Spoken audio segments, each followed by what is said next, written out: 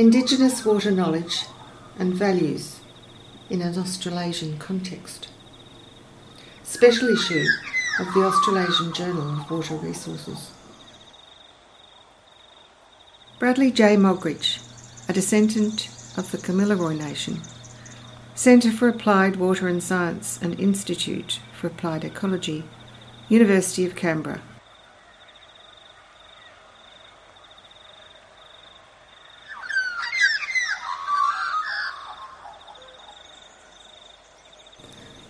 An appreciation of Indigenous water values and knowledge is becoming ever more important when managing water resources across the Australasian region, Australia, New Zealand, New Guinea, and some neighbouring Pacific islands. The Australasian region is culturally diverse and includes people from Australian Indigenous, Melanesian, and Polynesian cultural backgrounds. Indigenous knowledge has emerged over millennia of adaptation to natural climate regimes, agricultural, industrial, and urban development, and government policies. The region also includes a wide range of colonisation histories, democratic traditions, and governance, which have contributed to a variety of ways in which Indigenous people have been engaged in water policy governance, and management. Access to water is not only managed by a diversity of mechanisms, including treaty and settlements, native title and land rights, but also includes situations where Indigenous people have been excluded from access to traditional water places, to water for sustenance and water as an economic resource. The concept for this special issue came from the Australasian Journal of Water Resources, AJWR editorial board meeting, and with the support of the chief editor, a special issue was created with the focus on Indigenous water knowledge and values across the region. The AJWR is a multidisciplinary regional journal dedicated to scholarship, professional practice, and discussion on water resources, planning, management, and policy. The special issue is an opportunity to raise the profile of emerging advances in Indigenous water science and to highlight successes in research by or with Indigenous peoples in water knowledge and values. The journal accepted abstracts and papers from across Australasia with the requirement that there was an Indigenous author as lead or co author to ensure that the Indigenous voice was strong in the special issue. The special issue includes research related to traditional knowledge and cultural values of water for Indigenous people of Australia. Moggridge and Thompson, 2021 in this issue, discuss the policy context and the gaps in policy and barriers to participation for Indigenous people. A need for clear and appropriate engagement with Indigenous people around water is identified, in addition to gaps in water planning through lack of rights and policy, and barriers due to lack of training and guidance for Indigenous people engaging with water policy. The framing of cultural flows and their economics are described by Davies, Wilson, and Ridges, 2020, this issue, through providing a case study of a culturally significant water body at Narran Lakes, Western New South Wales.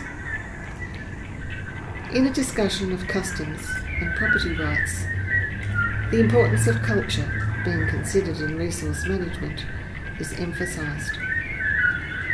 Taylor et al., 2020, in this issue, Move the special issue across to Aotearoa, New Zealand, reviewing Maori aspirations and connections regarding Waimaori, freshwater, and the challenges faced in accessing water in the current allocation system. Opportunities for engagement are illustrated through a series of case studies. They propose a reframing of current policy and environmental governance to a Maori way of thinking and being, thus stimulating a more caring attitude to water to protect health and well-being. Building on the theme of incorporating an Indigenous worldview into water management, the paper Living Waters, First Law, takes the special issue across to the Fitzroy region of Western Australia. Martuwarra, Taylor and Poelina, 2021, this issue, compare the Nyikina and Mangala Living Water Law First Governance Framework to the Australian National Water Initiative. Representing the centrality of place, the Martuwarra Fitzroy River is listed as the lead author. This was proposed by the co-author Poelina, a Nyikina woman who is Yimardoowarra of the river, to recognise the river as an active, creative and relational being. This unsettles and decenters humans as the knowers of knowledge. The concept of nature based authorship was endorsed by the editorial team for the special issue. The paper explores the challenges and problems of water policy and looks to the future by bringing opportunities from a living water law first perspective. Lyons and Barber, 2021, this issue, provide an analysis of the Mitchell catchment in northern Queensland that links values, rights, and interests with specific water resource assessment and development considerations. The research method was based on qualitative interviews with Indigenous people, considering the relatedness of those interviewed to country, water, obligation, identity, and access. The data emphasise the strong relationship across generations, with water being the key to existence. Taking a great management focus, Caron et al. 2021, this issue, looked to restoring cultural plant communities at sacred sites, Santa Teresa in arid central Australia. As one of the driest, constantly inhabited areas on Earth, water in this region plays a critical role in ecologically, culturally, and spirituality.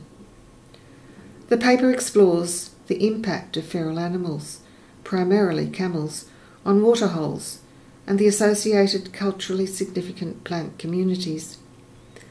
Working with traditional owners, fencing was used to exclude feral animals.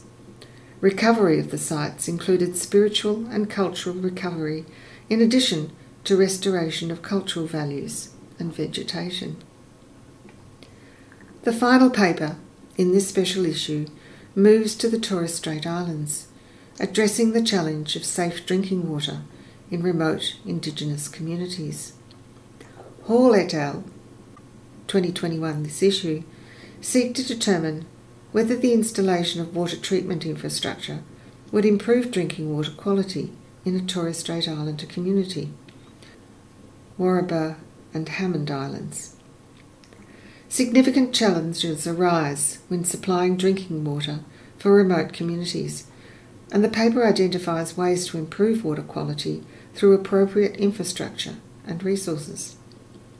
The critical role of local advice as an input cross agency collaboration, and staff support and mentoring to ensure cultural sensitivities are emphasised. During the time the special issue was being created, Australia experienced a drought that was one of the most intense on record. As a consequence of this, and failures in water management, there were two unprecedented fish kill events in the lower Barka, Darling River, New South Wales. While two separate independent scientific reviews were commissioned in response, there was no Indigenous membership of either review panel. The severe drought and fish kills were followed by some of the worst bushfires on record in southeastern Australia, with significant loss of lives, property, and cultural landscapes.